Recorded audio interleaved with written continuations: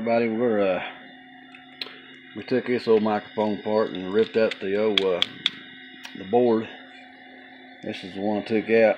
Now I'm gonna transfer all the wires to this one here, and I hope I get this microphone going.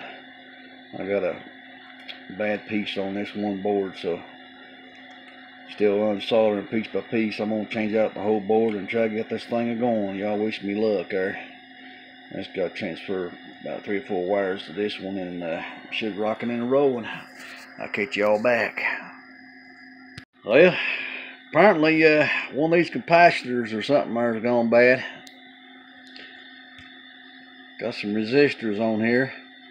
I'm not sure which one's bad, but uh, I changed out the whole board and I key down the old microphone and guess what I get? Feedback. Got this old Dynamike Plus going. I don't know which part went bad, but uh, I had another one here that uh,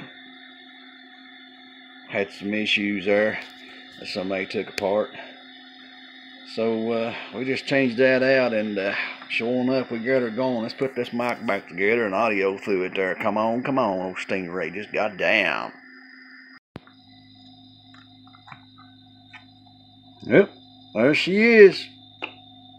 Backer, backer, backer, backer, backer, backer. Test a one, two, test a one, two. Old Stingray with the wave.